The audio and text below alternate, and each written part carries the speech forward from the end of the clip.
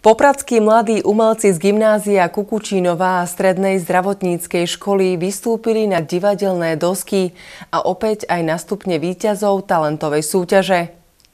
To najlepšie zo seba ukázali v prednese a dramatizácii v cudzích jazykoch nielen na súťaži, ale aj počas príjemného štvrtkového večera v Tatranskej galérii. Celoslovenská súťaž Jazykový kvet spája umenie a cudzie jazyky, dáva priestor mladým umelcom prejaviť svoj talent a zabojovať v silnej konkurencii o prvé miesta v interpretácii prevzatej či vlastnej tvorby. Tento rok som súťažila s, v kategórii e, vlastná tvorba, poézia, proza, anglický jazyk a mala som vlastne báseň o, sa to volá, že perfection, a čo znamená do prekladu, že dokonalosť a bolo to vlastne dnešne, ako na nás vplývajú rôzne faktory, napríklad média. So lucky are only few. Sun-kissed skin, long straight hair of gold. This is how the standard ideal of a woman is told. Súťaž sa realizuje od roku 2011 postupovým systémom od krajských semifinále, pokračuje krajskými finále a vrcholí celoslovenským kolom.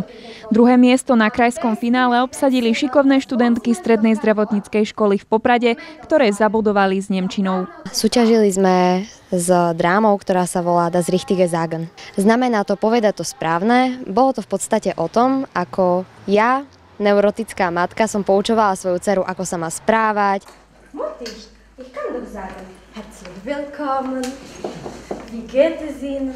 Jeder kann es tun.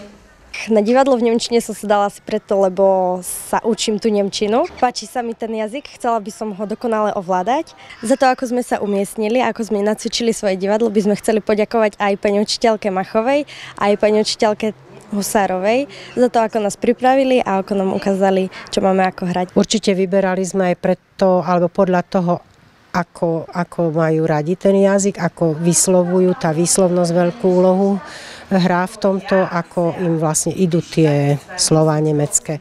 No a samozrejme dôležité, ako, ako vedia v podstate sa prezentovať, hrať. Suverénne víťazstvo v anglickej dráme na celoslovenskom kole získalo už po štvrtýkrát nepremožiteľné trio študentiek z gymnázia Kukučínova. Dnes sme vlastne na tomto gala večeri, na našom predstavení jazykového kvetu, čo sme tam ako hrali, predviedli našu hru, s ktorou sme aj vyhrali celoslovenské kolo Story of a Mother, čiže príbeh matky. Je to príbeh o matke, ktorá stratí svoje dieťa potom sa vydá ho hľadať a sú tam rôzne prekážky na jej ceste a ona ich aj tak na konci.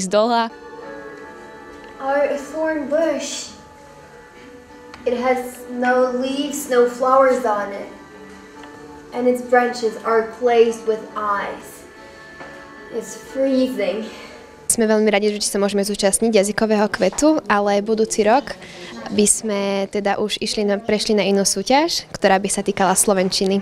Už tento rok sme sa zúčastnili Hviezdoslavovho Kubinu v kategórii divadlo poézie, no bohužiaľ sme nevyhrali, boli sme tretie, čiže chceme to do budúceho roku dotiahnuť a pokúsiť sa o to víťazstvo.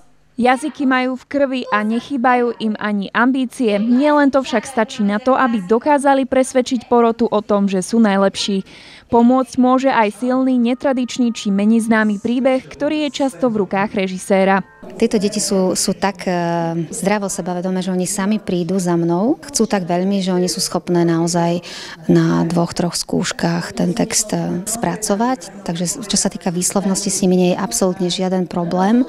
A ja prídem s nejakým nápadom a oni už potom to len dajú do finálnej podoby. Takže naozaj práca s talentovanými deťmi e, je, je, je veľmi jednoduchá to ide samo. Všetci, ktorí chcú ukázať svoj jazykový talent, majú šancu zažiariť na úplne novej súťaži, ktorú prinesie už budúci školský rok. V Poprade sa bude konať poprvýkrát medzinárodná súťaž jazykovo-umelecká uh, Language Stage of Poprad, na ktorú sa veľmi tešíme a už teraz pozývame všetky školy, základné a stredné a všetky talenty jazykové, uh, aby sa do tejto súťaže prihlásili. Poprad už niekoľkokrát dokázal, že má talentovaných žiakov, ktorí vedia výťaziť.